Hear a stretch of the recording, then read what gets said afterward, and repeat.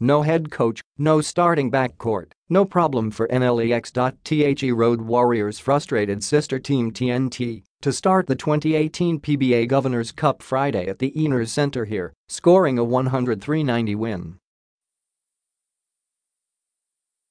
NLEX is still without Kiefer Ravena FIBA suspension and Kevin Alas ACL injury due to various reasons and head coach Yeng Guiao is in Indonesia handling Gilas Pilipinas in the Asian Games, but the Road Warriors had more than enough to take down the Katropa to get their campaign going in the season-ending joust.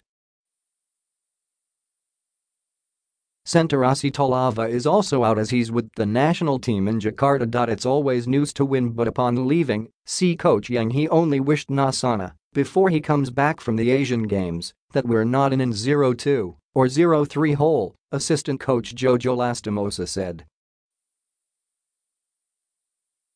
Sada Pagbaliknia, in contention Parin Kami, he added. NLEX certainly got off on the right foot in the Governor's Cup led by import Olu Ashaolu dropped 33 points and 23 rebounds in 42 minutes of play despite dealing with a knee injury. Behind him were locals led by Mac Tallo with 16 points and Larry Fonacier with 14.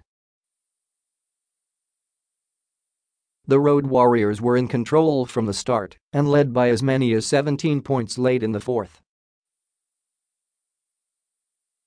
TNT got 27 points from Terrence Romeo and 15 from Jason Castro however, import Mike Glover didn't exactly impress with 11 points and 15 rebounds.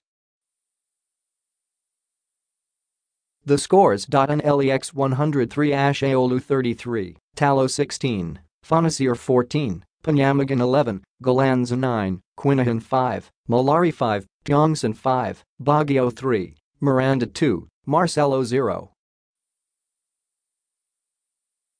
TNT 90 Romeo 27, Castro 15, Pogoy 13, Glover 11, Semerad 10, Rosario 5, Williams 4, Garcia 3, Tamsi 2, Gala 0.